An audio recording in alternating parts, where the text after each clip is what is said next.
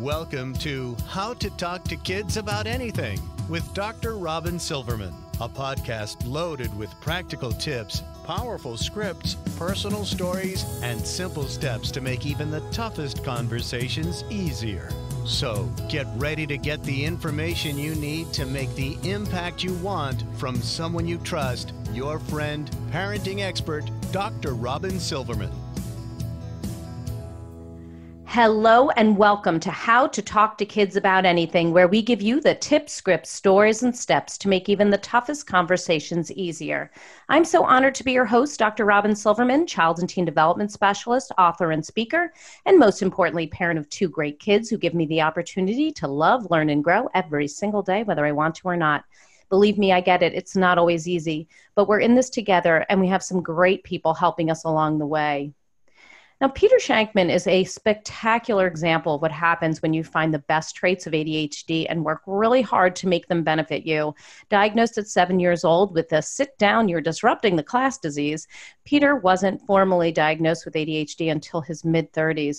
By that time, however, he'd started and sold two companies and realized that all the differences that formerly labeled him as a troublemaker were actually his greatest assets after Peter sold his third company, Help a Reporter Out, he decided to focus on really understanding this faster brain of his and learning exactly what it could do.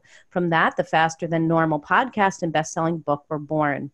Peter believes that everyone has gifts, potential, and abilities far beyond what society has deemed normal and strives to help those people bring out the gifts to life in so many people in kids who have ADHD. He does this through podcasts and books and online videos and countless worldwide speaking appearances.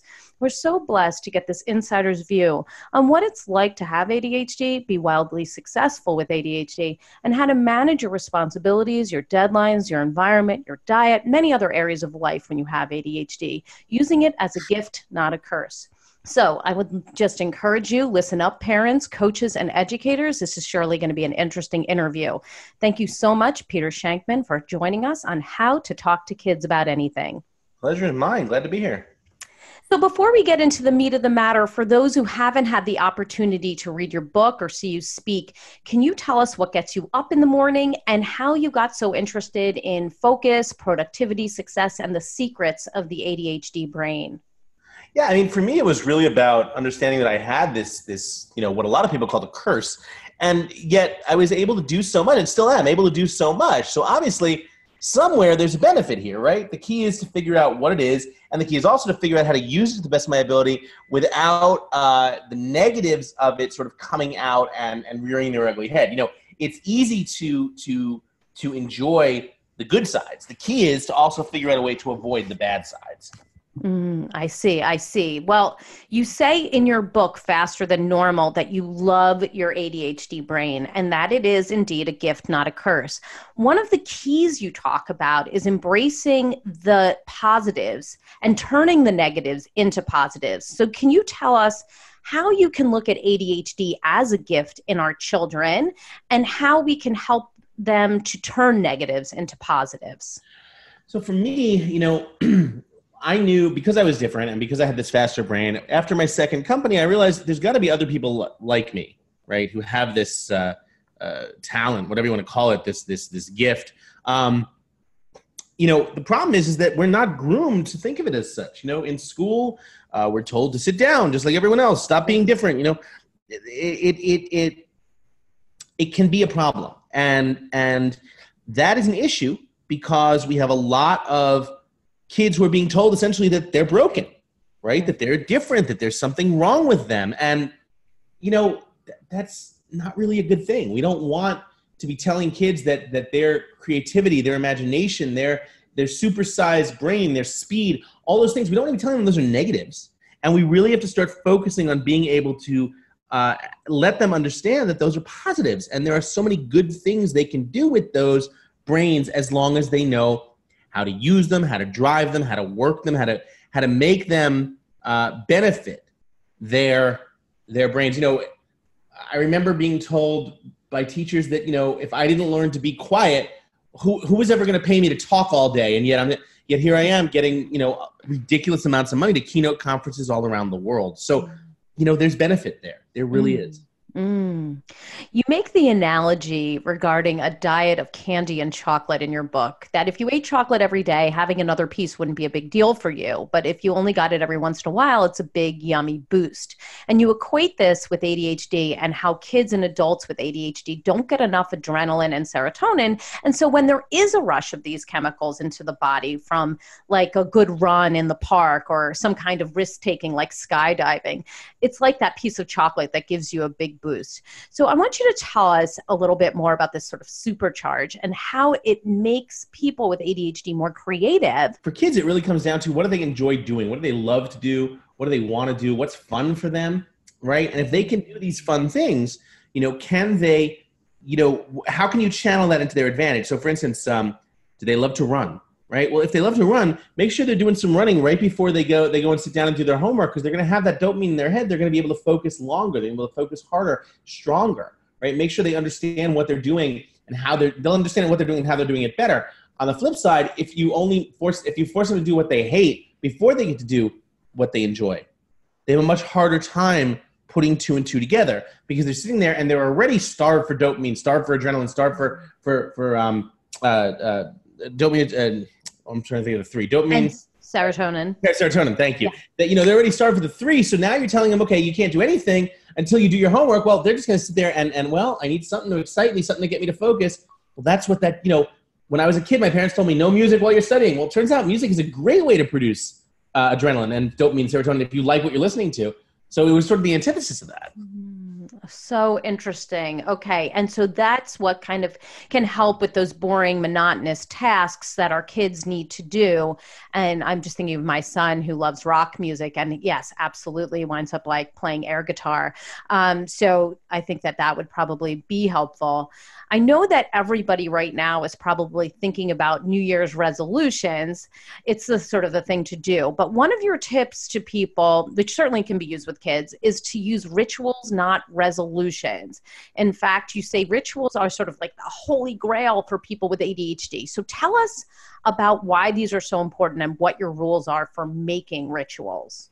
Yeah, problem with the resolutions is resolutions fail. Resolutions, I'm going to lose 30 pounds, you know, and then you, you, you go and you, you don't right? And, in a week later, you're like, well, I haven't lost 30 pounds yet. This obviously failed. Let's go eat everything. You know, yeah. that's what I do. Um, the flip side of that is a ritual. The ritual is I'm going to focus on uh, being a little bit healthier and going to the gym three times a week this week. And I'm going to do that for four times this month. And all of a sudden, you've done it 12 times. The weight's starting to come off. You have a you have something you're doing every day. That's a ritual. You're now building a ritual. That's the key. That's what you want to be able to do. You don't worry. Don't worry about um, resolutions. Resolutions fail. Rituals succeed. I see. So, in combination with the one that we were just talking about, you may have a ritual to do your homework after school every day, but first, you're going to you know listen to your favorite song or you're first you're going to run around the block and then you're going to do your homework and you're going to do this four times a week monday tuesday wednesday and thursday and exactly then you have that in play. Yeah, okay. Rituals succeed. Rituals succeed. I like that. So let's shift our attention to overall health and well being for someone with ADHD. I'm talking about food, exercise, sleep, organizing, and decluttering your environment for health and success, something you talk about in your book. So, how do these things play a role in the health and well being for someone with ADHD? And what tips do you have for those who are listening? About how we need to work with our kids about uh, on those types of things. Yeah one of the first things i'd recommend you have to understand that food uh, is mandatory right? Good healthy good food not crap food. Essentially you know eat like crap you're to feel like crap you're to work like crap all that stuff. You want to focus on being able to eat really healthy food. Um, my rule is sort of what i try to stick by is if my grandmother wouldn't have recognized it as food back in like 1910 I try not to eat it. Mm. Um, another way to think about that is, you know, if you're if you're going shopping in the grocery store, stick to the outside of the store. The outside aisles, uh, that's where all the fresh and perishable stuff are. The inside stuff, the inside aisles is like where the Twinkies are that live for like 400 years. you don't want to put stuff in your body that lives for 400 years. It's just nothing good has ever come of that. So, yeah. you know, you want to ask yourself, what can I eat that makes me feel better? Um, I believe in the apple test, which is, oh, I'm starving. I'm going to get some chips. Well, do I want this apple? No. Okay, then you're not really starving. Mm, Mm, so right? So that's a, that's a big that's a big point right there. right. And then what about the exercise and sleep areas?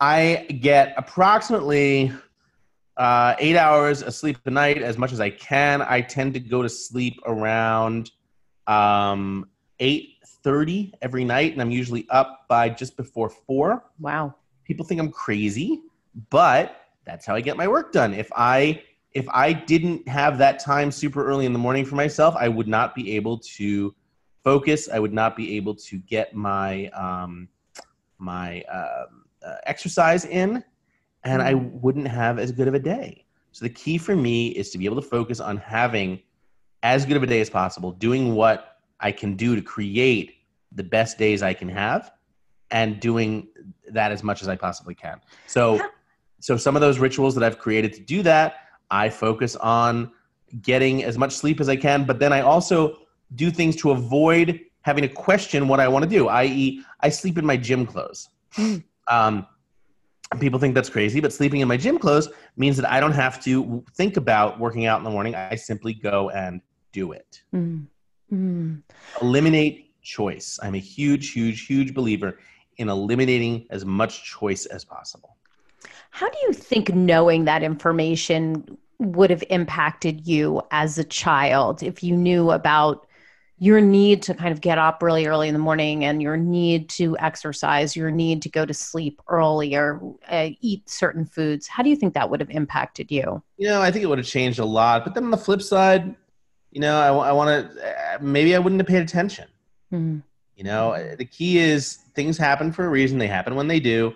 For me, it's about understanding what works now, not worrying about what would have, worked last time or later or whatever, but understanding what works now and just doing as much of that as possible, as much as I can. All right. And not blaming, also, I'd say not blaming myself for not understanding it earlier.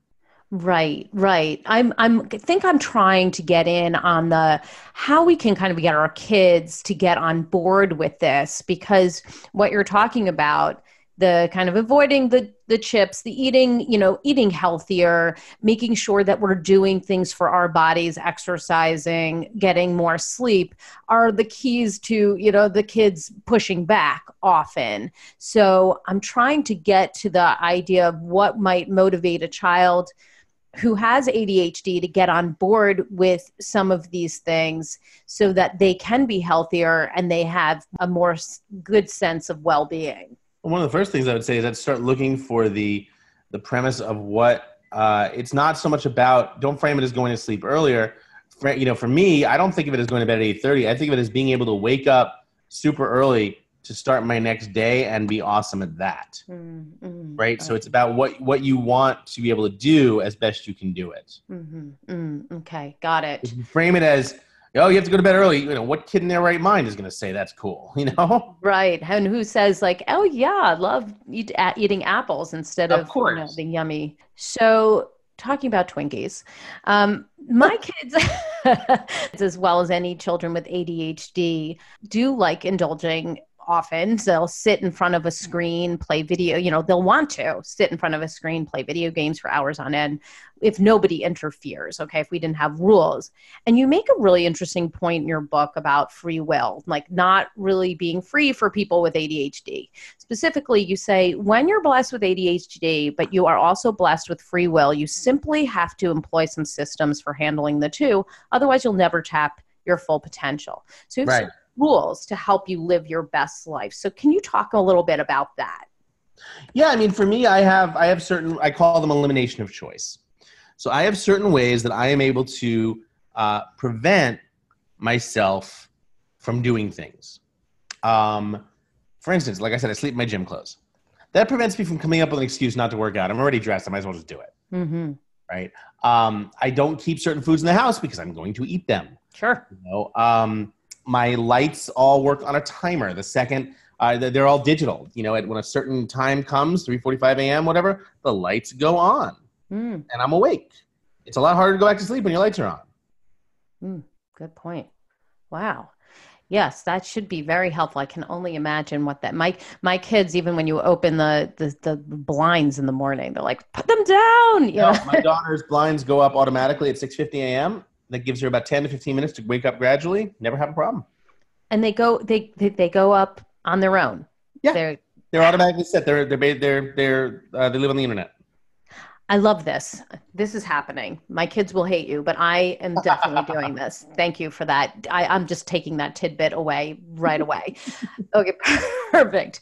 So, one of the areas that tend to be of great frustration for parents, teachers, and kids with ADHD is homework and things that you have to get done in a timely fashion. You talk about deadlines and how to learn to unenjoy something while dealing with triggers that can take you off track. So tell us the insider secrets on how to help kids learn to use deadlines to their advantage and deal with these triggers, as you say, to unenjoy something until it's done.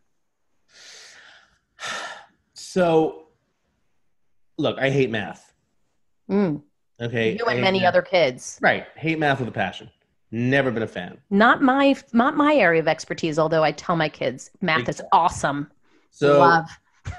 what can I do to create a lesser horrible experience? Mm.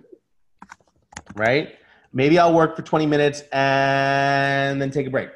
Maybe I'll maybe I'll get this this page of problems done, go ride my bike for a half hour, come back and do the second page of problems. hmm Right? Whatever it is. What is the what is the thing you can do to make the thing you have to do seem less unappealing? hmm So what's what are some things that we can do? Like what is your what is your way of un- getting through something you unenjoy? So I do a lot better when I'm in a clean and precise environment, right? Okay, tell us about that.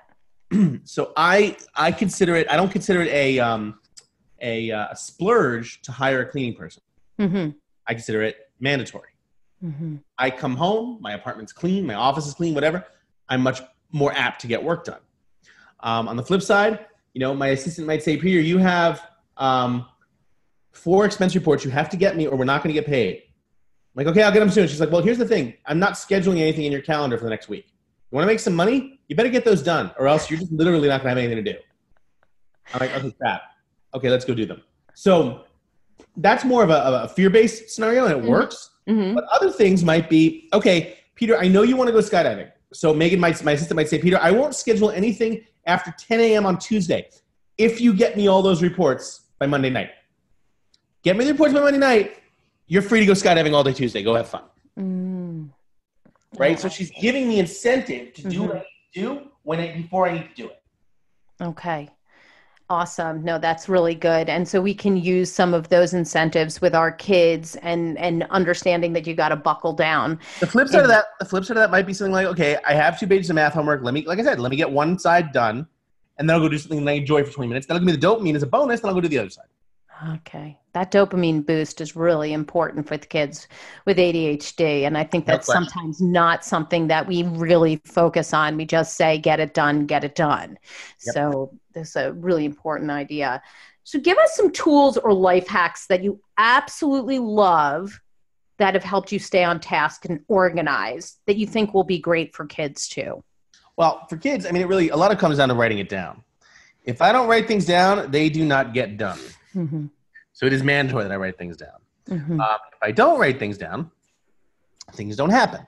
So I tend to do that. That goes without saying. Um, I would also suggest that it is a uh, you know be, being able to again what you're eating, what you're doing. Give yourself time in the morning to not be rushed around and crazy and trying to get things done. You know, give yourself a little extra time to get things done, so you so you can get up a little earlier. You have a half an hour before school starts, before you have to leave for the leave the house, whatever, where you're not going crazy. Mm-hmm.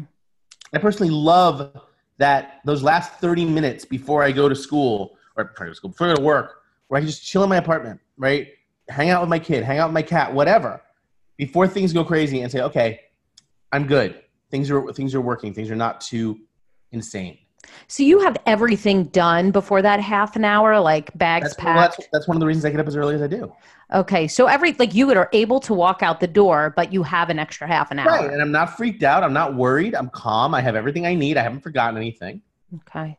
I've had that that's time. important for us to keep in mind because you know mornings are not always easy. You know when you have kids. and they could be a lot easier again if you just if you take that time to sort of wake up and you know give yourself that extra that extra little bonus hmm Good point. What's one thing you really want parents with kids to know, uh, with kids with ADHD to know? The hands down most important thing is to understand that your kids are not broken.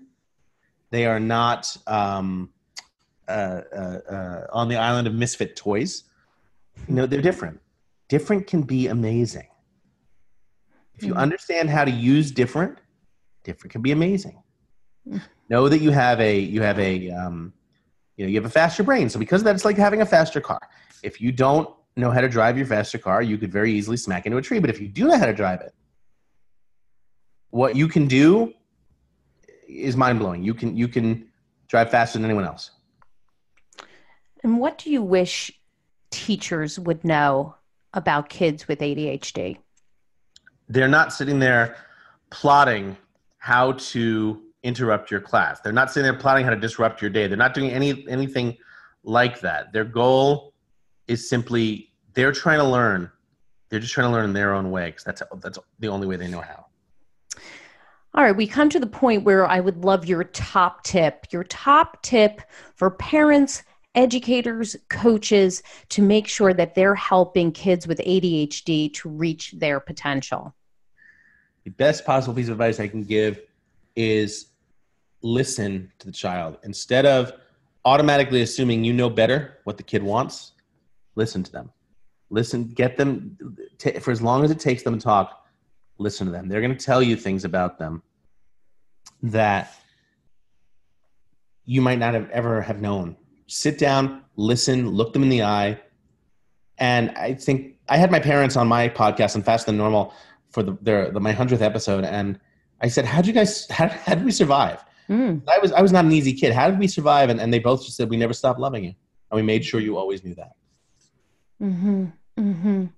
Because when you have a child who, you know, who who f- seems like, you know, there's always the extra effort you need to put in because they don't always go with the with the the groove and that they don't always get things done in the way that you would imagine them just because they're doing something that works for them and it doesn't work for you doesn't mean they're wrong right right so you know that allow them to get up allow them to run around the block allow oh, them to- i mean the best I, I i have standing meetings i refuse to sit down during a meeting mm-hmm Okay, which is funny because what what does a kid get uh, the message of? But you you need to sit down. You need to sit down exactly. at the dinner table. You need to sit down in this in school. You need to sit down to do your homework. You need to sit down. No question about it. Yeah. Give us the resource of the week. Where can people go to get more information about you and all that you do? Podcast at fasterthannormal.com. Um, and my life is at shankman.com. I'm at Peter Shankman on all the socials. And um, I, I answer every email, I answer every tweet. Feel free to reach out to me. I'm, I'm love talking about this stuff. Awesome. Well, I want to thank you so much uh, for your insights and your strategies on ADHD and the ADHD brain and kids with ADHD. I, I, love what you said about really embracing them where they are and making sure that they know that they're loved and that different is can be really, really good if we choose to see them that way. I just really appreciate your perspective. That was my pleasure. I'm happy to do it. Well, I've got my takeaways, and sweet friends, I know you have yours. Let's discuss them. Come up on the Dr. Robyn Silverman page or on twitter.com slash Dr. Robyn. We got the Facebook page at Dr. Robyn Silverman, dr robyn drrobynsilverman.com, and also on Instagram at Dr. Robyn Silverman. And if you love this podcast like I did, I hope you'll go up to iTunes and rate and review it so other people can hear about Peter Shankman and his solutions to ADHD, the ADHD brain, and understanding how we can embrace this child, how, where they are, what they're doing, and help them to shine because they've got incredible potential. That's all the time we have for today, my fellow parents, leaders, and educators. Thank you so much for tuning in to How to Talk to Kids About Anything. For more information on books, articles, speaking engagements, or curriculum, please visit drrobynsilverman.com. So many great podcasts up there. Show notes are up there as well. And I look forward to weathering the storms and enjoying the sunny side of life together. And please remember, even on the days when you fall short, you've got this. I know you've been listening to this podcast and you might be thinking in your mind, I've asked them to sit down. I asked them, no, you cannot do that. But you're here and you're getting the information you need. I know it's not easy, but never forget there's always tomorrow. Parenting is the ultimate do over. I see you. I'm right there with you. And as there are moments when we doubt our know how, our choices, and our sweet sanity, please know you're 10 times the parent you think you are. Until next time, this is Dr. Robyn Silverman with How to Talk to Kids About Anything. Please tune in again and keep connecting through conversation. See you next week. You've been listening to How to Talk to Kids About Anything with Dr. Robyn Silverman. For more information on books, articles, speaking engagements, or curriculum, please visit drrobynsilverman.com.